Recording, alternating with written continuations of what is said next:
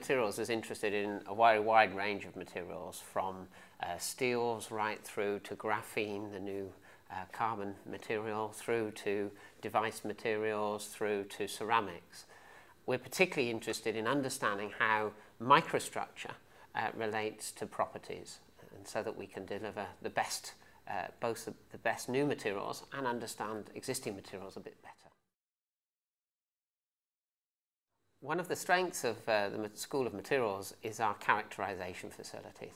These are really uh, fantastic. We're able to study a range of materials at, at very wide-ranging scales, from the very large scales right down to the smaller scales that we can image materials at. And this provides us with a tremendous way of understanding the relationship between structure and performance.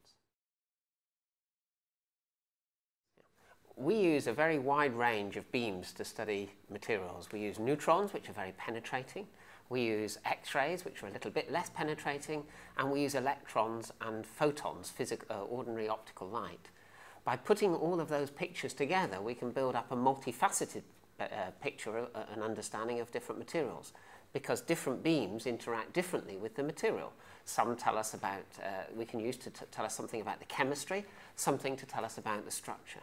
And by putting all those levels of information together, we have a fantastic way of understanding the different scales at which materials operate.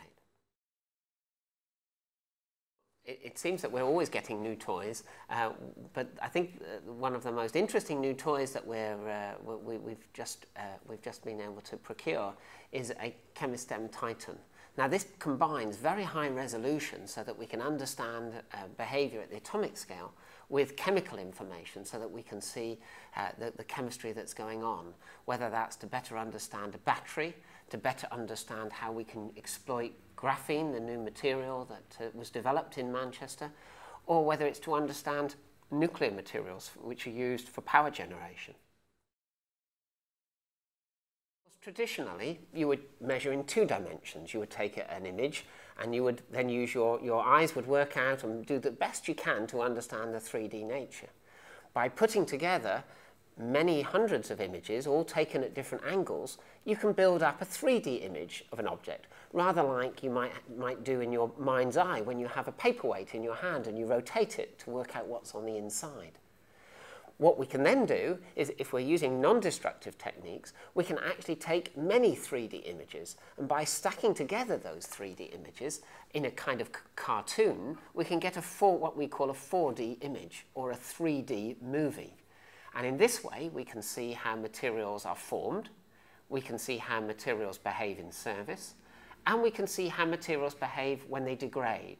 So this really is an exciting move forward.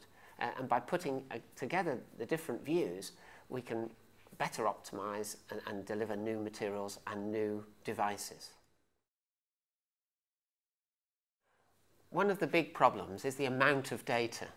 You can imagine if you're using a camera, you very soon fill the, uh, the memory. But of course, we, each of our images comprises around 2,000 images. So we have very large amounts of data.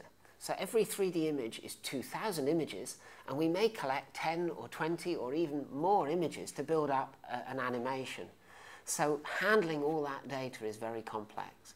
We need sophisticated computer algorithms to reconstruct the 3D images, and we need complex uh, analysis procedures to extract out all the quantitative information we want from this feast of, of, of, of imagery.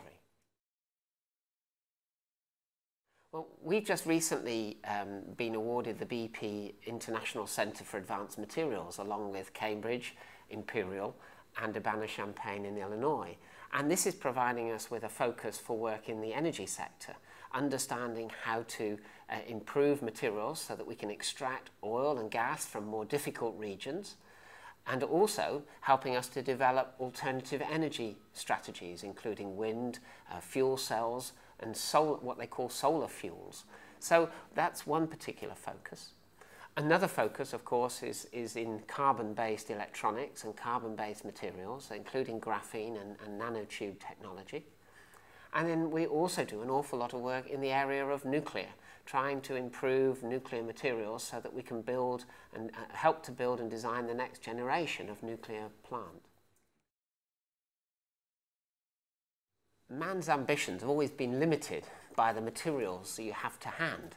So the better we can understand materials, then the, the faster we can develop new applications. In particular, understanding materials behaviors across all of the scales that are relevant, from the atomic scale, understanding the things that go on at the grain scale, understanding how things go on at the uh, structural scales is also very important. And by putting all that information together, we can help to design new materials. Some of those will mimic biological structures. So we'll be building scaffolds, for example, on which we can grow cells uh, to help in biomaterials. We'll be looking at how to design batteries that don't fail after such a short lifetime and that can be recharged many, many times. These sorts of discoveries are going to be really important over the next 10 to 20 years. And the characterization facilities we have here provide us a unique insight, a unique window into their behavior.